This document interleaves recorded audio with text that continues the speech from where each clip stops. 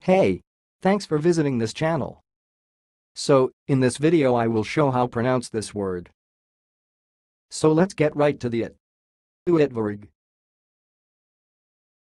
Uitvoerig. Okay, let's say it again. Uitvoerig. Uitvoerig. That's all, thanks for listening. If you liked this video, please subscribe to my channel. If you want to share your opinion, please leave comment for this video. Thanks and goodbye.